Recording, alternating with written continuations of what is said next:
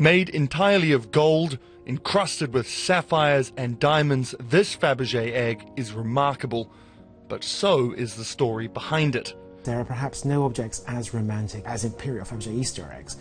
Created by Carl Fabergé in 1887 for the Russian royal family, it was seized during the revolution and sold by the Soviets. It vanished for half a century. That was until an American man bought it at a junk auction in the Midwest for $14,000. He wanted to melt it down, but instead contacted Fabergé expert Kieran McCarthy. A gentleman had it, the most unassuming, modest person you could imagine.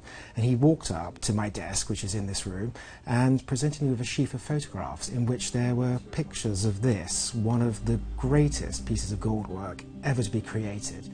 The egg has already been sold, reportedly for $30 million. McCarthy wouldn't confirm that, but he says another inferior Fabergé egg went for 18 million.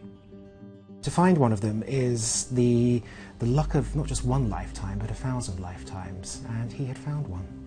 These are the things we hunt all day, every day, and to be presented with one was the most sort of spine-tinglingly exciting moment. The egg goes on display in London from April 14th.